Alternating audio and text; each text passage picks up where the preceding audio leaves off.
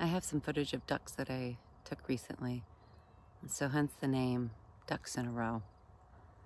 Most people know it as uh, getting things in order.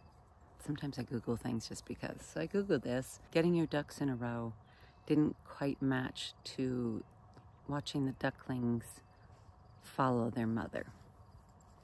Because that made me think, um, well, it's a focus direction.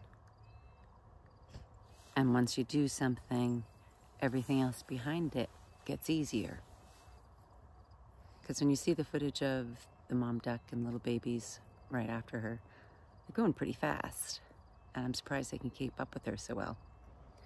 And the uh, physics behind it, I'll put a link below, is that the mother makes waves and that the little ducklings ride the waves so they have more momentum as they keep going. I thought that was rather fascinating. So I'm going to put my ducks in a row, pinpoint one direction, and make some waves.